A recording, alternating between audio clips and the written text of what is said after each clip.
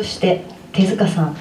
えー、昨日こちらでねあのリーダーライブされたばっかりなんですけれどもドラムの手塚さんにちょっと一曲